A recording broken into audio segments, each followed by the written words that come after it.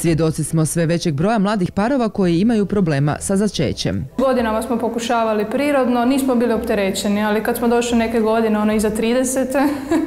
onda je krenula malo frka i Odlučili smo, ajmo vidjeti kakvi će biti nalazi, jer očito nešto ne štima kad ne ide prirodno. Po pravilu u današnje vrijeme negdje 20 do 25% parova, znači svaki četvrti, peti bračni par ima problema za začećem. Ako hoćemo definicijski, onda možemo reći da svaki bračni par koji unatoč redovitim spolnim odnosima u godini dana ne uspijeva ostvariti trudnoću, može ući u definiciju neplodnog para i u pravilu bi trebao potražiti stručnu liječničku pomoć centra ili svog primarnog liječnika najprije, a nakon toga centra koja se bavi e, obradom neplodnosti. Uzroci mogu biti loši nalazi uzrokovani zdravstvenim problemima iz prošlosti, no ponekad ni same uzroke nije lako utvrditi. Današnje vrijeme možemo govoriti da je 50-50 što se tiče muškog i ženskog faktora neplodnosti. Prije nekog vremena je više bilo na strani žene, možda 70-30, a današnje vrijeme 50-50. Može biti od lošeg spermiograma, gdje može biti od stresa, prehrane, bolesti, karcinoma, nekakvih operativnih zahvata, proširenih vena, sličnoga.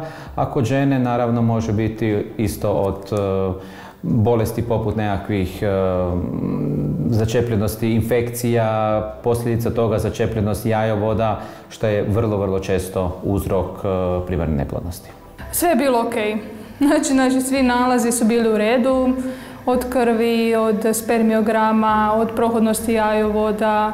Nekoliko godina neplodnosti unatoč urednom spermiogramu i unatoč urednim nalazima kod nje uredne prohodnosti jajovoda procjena je bila da je ona kandidat ipak za postupak izvan tjelesne oplodnje jer po pravilima nekakve vjerojatnosti uz uredan spermiogram, urednu prohodnost jajovoda u zadnjih nekoliko godina morala se desiti trudnoća.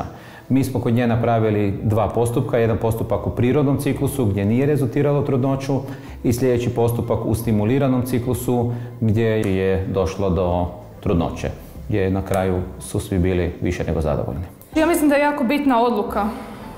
Da to, to je naj, najteži trenutak kad ti odlučiš da ćeš krenuti u postupak barem je meni bila, jer nije jednostavno, ti samo odlučuješ o tome. Znači kad neko ostane prirodno trudan, ostane prirodno trudan i dogodi se normalno. A ovako si znači ti ta osoba koja kaže ok, ajmo sad probati ono, raditi na bebi. Nije, nekako je malo drugačije. Znači ti, ti si taj koji odlučuje i tu je dosta teški taj psihološki moment, a i znači da li će sve uspjeti. A uspjelo je. Tamara i njezin suprug za mjesec dana postaće roditelji malene curice i zato se kaže Tamara baš sve isplatilo proći.